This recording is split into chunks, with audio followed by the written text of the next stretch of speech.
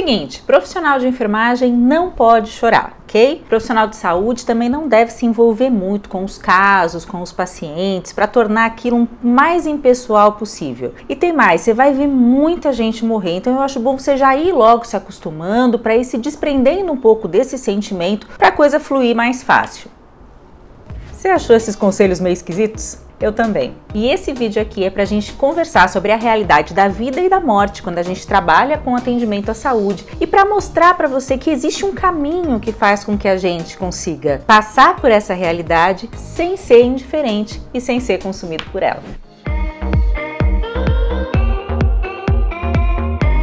Olá, prazer. Meu nome é Mari Libório, eu sou enfermeira concursada, sou professora universitária e esse aqui é um canal para você que busca se tornar referência na enfermagem. E aí, vestir jaleco? Então agora vamos fazer a diferença. O ciclo de vida da gente ele é formado pelo nascer e pelo morrer, então de certa forma é esperado que em algum momento da vida da gente a gente vai literalmente deixar de existir. E ainda que isso sejam eventos naturais, tanto o nascer quanto o morrer, como a gente encara esse deixar de existir, leve em consideração muito a nossa questão cultural e como que esse deixar de existir de fato ocorreu.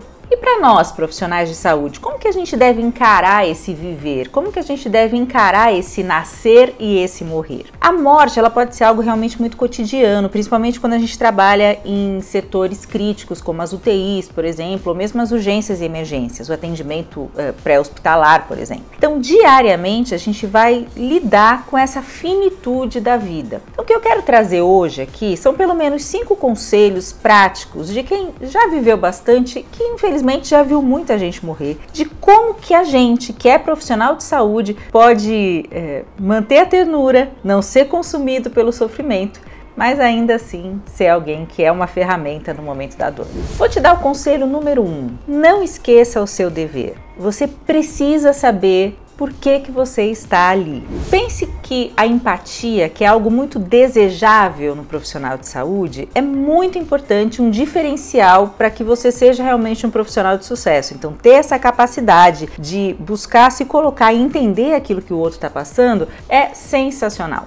Só que essa mesma empatia que faz com que a gente tenha essa facilidade de de repente sentir, experimentar a emoção que aquele outro também está tendo pode ser extremamente dolorosa para gente. E é por isso que quando o seu paciente morre, muitas vezes você sente, além de um pesar natural porque alguém morreu, você sente verdadeiramente a dor daquela família. Quanto mais empático você é, na verdade eu creio que mais pessoal essa morte se torna. Então nunca é simplesmente o paciente do 220 que foi a óbito. Ali tinha uma pessoa, ali tinha um pai, tinha um irmão, tinha um filho, enfim. Mas o que você precisa lembrar é que ali é o seu trabalho e não é a sua vida. Isso é você lembrar para que que você está ali.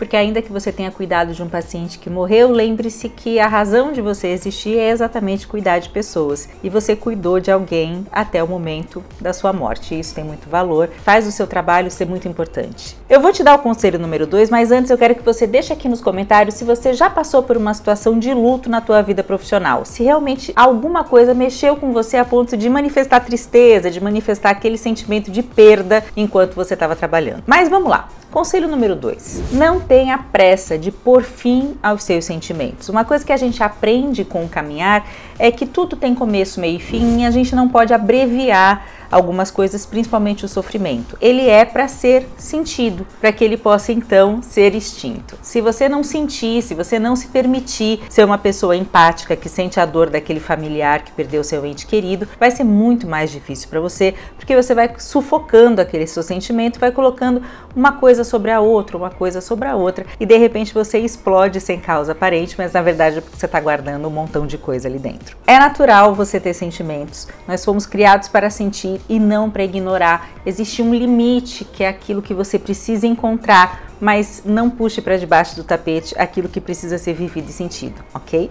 Conselho número 3, e eu creio que um dos mais importantes: converse sobre os seus sentimentos com quem partilha dos mesmos sentimentos. É muito importante que o enfermeiro tenha um amigo de valor.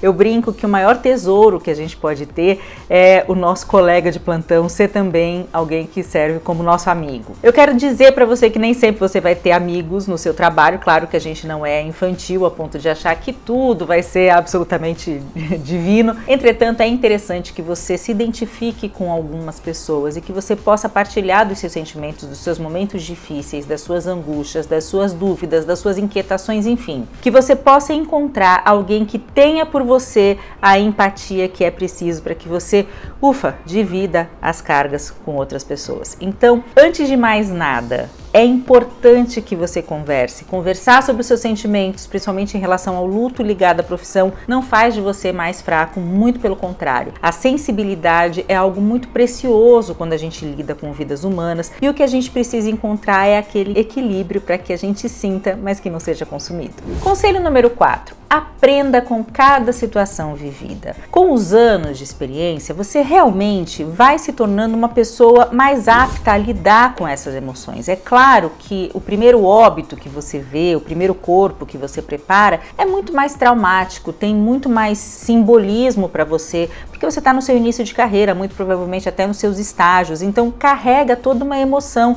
que, com o passar do tempo, vai se tornando, não vou dizer um lugar comum, mas algo que você já viu antes. Só que toda experiência traz um aprendizado. Então, cada óbito, cada perda, cada paciente grave, cada ombro que você ofereceu para um familiar, cada mão que você segurou ali nos últimos momentos de vida, trouxe para você também algo que pode ser um aprendizado importante. Então, esteja atento para isso, tenha os olhos abertos para entender o que está acontecendo ao seu redor e para discernir o que, que você vai aprender daquela experiência. Eu quero te contar uma história. Quando eu era enfermeira de UTI, eu sentia muito pesar quando o paciente falecia antes do horário da visita visita. Era uma UTI, foi há muitos anos atrás, onde o horário de visita era uma vez por dia, só às três e meia da tarde. E às vezes acontecia do paciente estar grave, ele falecer antes da visita. Então, quando a visita chegava para visitar o seu familiar, o, fa o familiar já tinha falecido, o que ele recebia era a notícia da morte. E com o tempo eu fui entendendo e tentando discernir aqueles pacientes mais graves, e eu acabava buscando de alguma forma antecipar a visita para aquele leito para que não acontecesse mais de um familiar chegar e não poder se despedir do seu familiar ali, do seu paciente que estava muito grave. Isso é um aprendizado, é um exercício que a gente faz às vezes também de empatia, mas principalmente de estar atento ao que está acontecendo ao nosso redor. Então, se você tiver minimamente um pouquinho de autoridade para fazer com que isso aconteça, para antecipar um horário de visita ou para conversar com quem pode, pense nisso. Pense que aqueles últimos momentos podem ter sido proporcionados por você e podem ter feito muita diferença no relacionamento e na despedida daquela família. Eu acho que são coisas que a gente aprende com a idade, aprende com o tempo, mas precisa estar atento. Então, olhos abertos para discernir aquilo que está acontecendo ao seu redor. Eu vou te dar meu último conselho, mas se você chegou até aqui, se inscreve no canal, ativa o sininho, que eu sempre trago conteúdo bem legal aqui para enfermagem. Vamos lá, o conselho de número 5. Lembre-se do seu propósito. Lembre-se que o seu cuidado ele pode se estender para aquela família que acabou de perder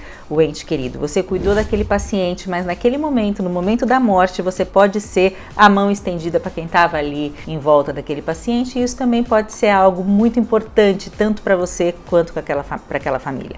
Então, lembre-se do seu propósito. Eu sei que ainda que eu tenha feito vários vídeos falando sobre salários de enfermagem e que realmente a gente possa ser muito bem remunerado na nossa profissão, a gente dificilmente escolheu fazer enfermagem porque queria ganhar muito dinheiro. Geralmente aquilo que nos motivou foi fazer enfermagem para acolher as pessoas que sofrem, para ser uma ferramenta de, de cura, uma, ferramenta de consolo, para a gente poder é, atuar aliviando o sofrimento, planejando o cuidado, enfim, sendo aquilo que a gente estudou para ser. Não se esqueça disso. No momento da morte, a sua assistência pode ter encerrado de uma certa forma para aquele paciente, mas ela não encerrou para todo o restante. Você pode encontrar excelentes oportunidades de ser mais uma vez brilhante enfermeiro. Se você gostou desse vídeo, curte, compartilha e eu te espero no próximo vídeo na semana que vem.